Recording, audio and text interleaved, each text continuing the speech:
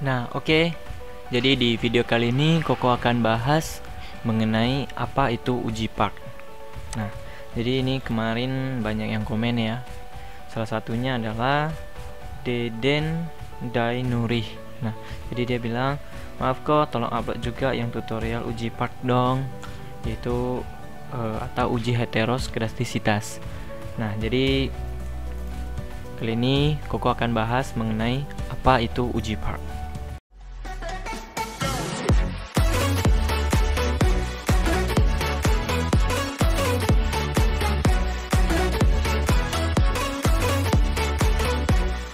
Apa itu uji part?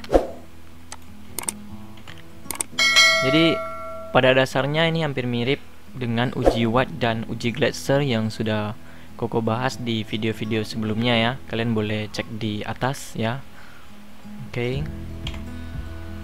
Nah, apa itu uji part?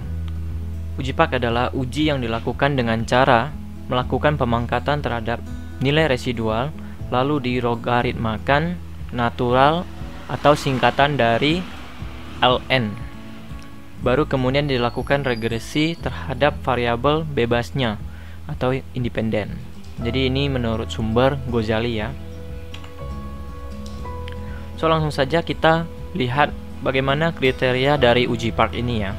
Jadi jika terjadi heteroskedastisitas, itu ada tiga cara untuk mendeteksinya. Yang pertama yaitu kita bandingkan nilai signifikannya. Jika di bawah 0,05, maka itu terjadi. Yang kedua, apabila nilai yang kita hasilkan itu positif, maka T hitung lebih besar dari T tabel. Nah, ini berarti terjadi heteroskedastisitas.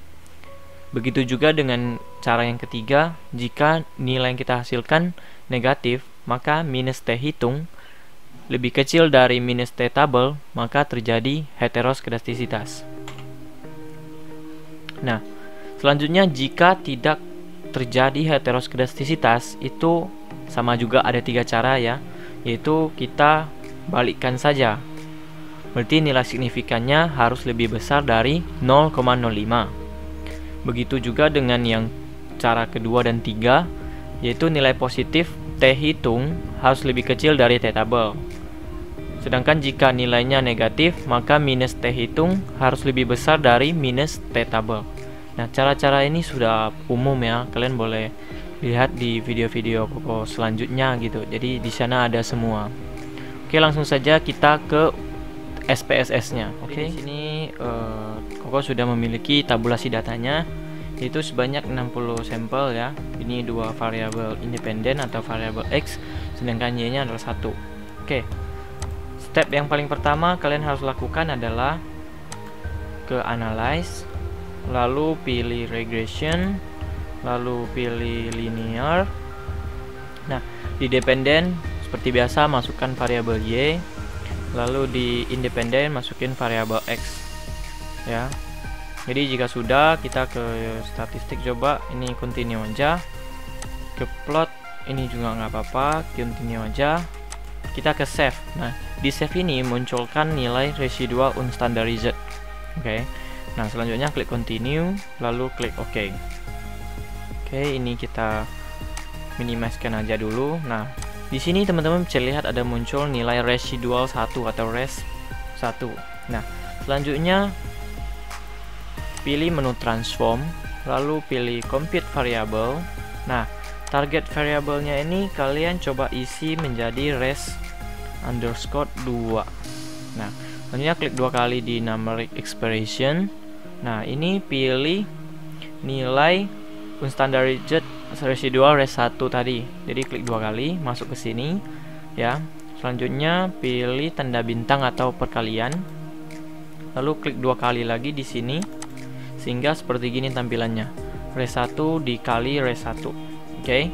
Selanjutnya kita klik OK aja. Nah, klik OK dia execute. Nah, di sini ada muncul nilai res 2.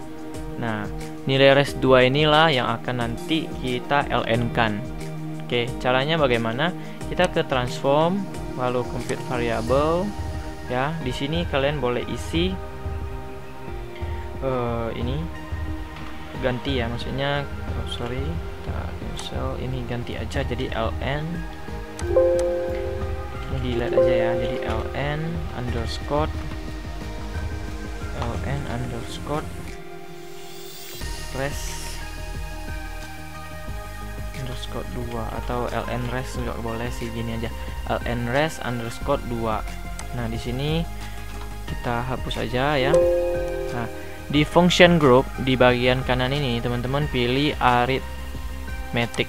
Klik dua kali ya. Klik kiri mouse ya oke. Okay.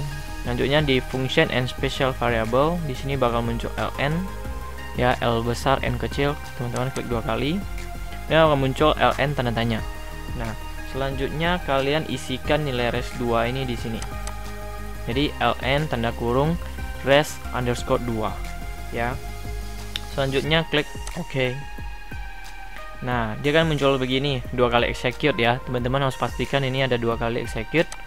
Selanjutnya balik ke analyze lalu regression lalu pilih linear. Nah dependent ini yang Y awal ini kita keluarkan masukkan ln res 2 ya. Jadi masukkan ln res 2 selanjutnya tinggal di save ini uncentang aja ya. Lalu klik OK. Nah sini bakal muncul nilai uh, uji part ya.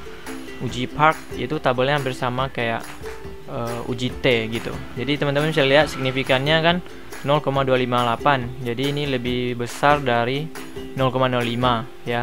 Sedangkan untuk yang di variabel x2 nya 0,168 ini juga lebih besar dari 0,05 so kesimpulannya uh, ini tidak terjadi gejala heteroskedastisitas.